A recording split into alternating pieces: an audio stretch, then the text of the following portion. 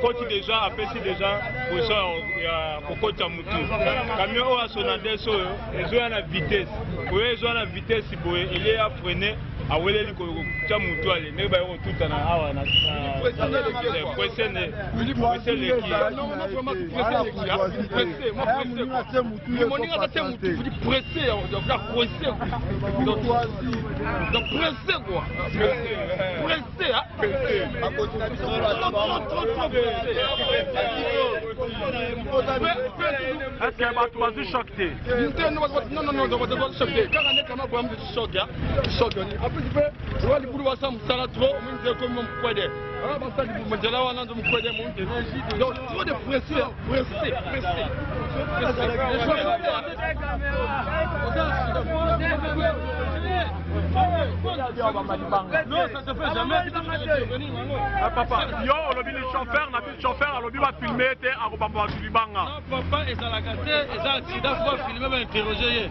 Eza problème obima libanga te. Bino boza presse boza to sa mosala na bino. Problème eza te. Boza mosala na bino. Nini okoloba mpo na ba réaction ya chauffeur modèle boye? Ye moto soki aza na raison azobwa ba filme mpo na nini? Na okama aza chauffeur nde to babanda ko chauffeur bazo.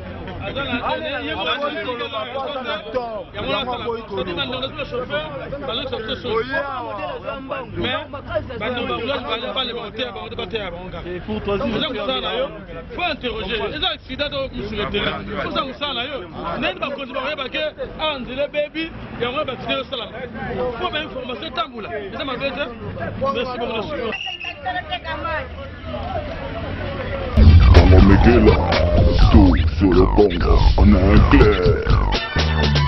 Salut tout le monde, hi everybody. Venez nous voir danser avec deux bleus Kinanga. nakanisi bandeko mosusu jusqu'à présent bayebi na bango te saint valentin eza nini Le 18 février au 74 74 rue Sainte-Bar donc saint valentin elakisi feti ya bato baza na bolingo avec Natacha et Béline qui dansera le baladi. saint valentin komaya kovandisa mama na ndako te mama akolinga te papa avandisa yango na ndako saint valentin il faut kobima il faut kozwa mopepe il faut kosepela bandeko na nga bolingo eza mpasi eh. la maison gts signe euh, vous présente euh, des bleus kinanga mokonzi ya kati conclusion donc euh, c'est une soirée tosengi na bino nyonso bozala euh, soirée introspective si je peux bien dire euh, voilà l'année qui commence euh, en beauté en amour